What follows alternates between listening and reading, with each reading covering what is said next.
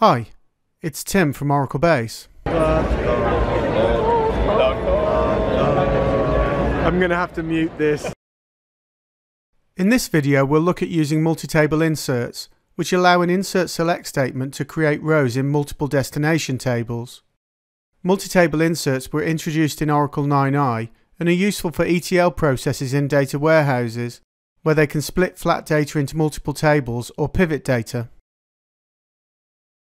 We create a user called TestUser1 and grant it the create session and create table privileges.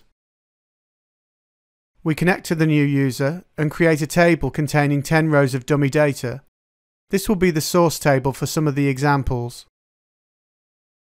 If we query the table, we can see the source data.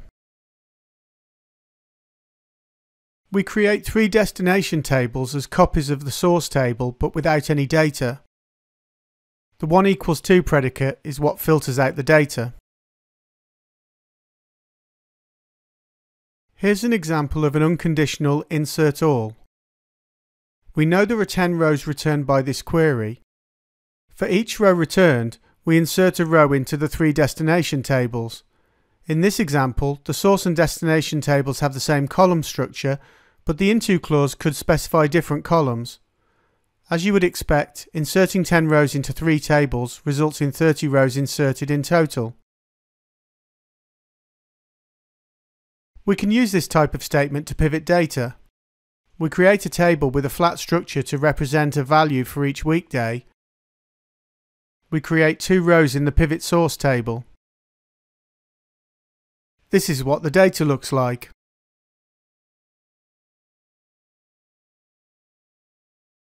We create a destination table to hold the pivoted data. Notice there's a day column and a value column, so each row represents a value for a single day from the original ID value. For each row returned by this query, we insert into the destination table five times, one row for each day of the week.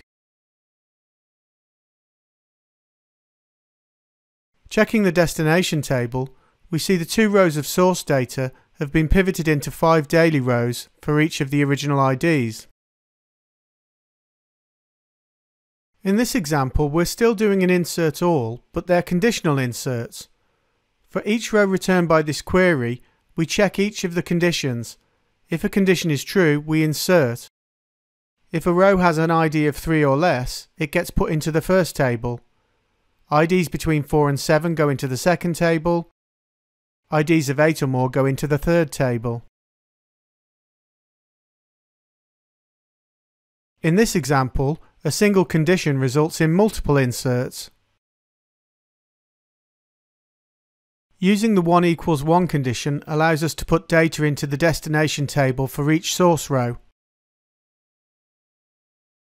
Here we use insert first. This now acts similar to a case expression. For each row in the source table, we work down the list of conditions, but we only do the inserts associated with the first condition that's true. This type of multi-table insert can include an else as a catch-all. As before, we can include multiple into clauses into a single condition or the else. Thanks for watching. As always, there are links to articles containing lots more information about this subject in the description box below.